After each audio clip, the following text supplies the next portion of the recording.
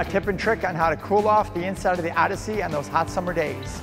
Simply press unlock on the key fob once, press again and hold it, all the windows go down and the sunroof opens up.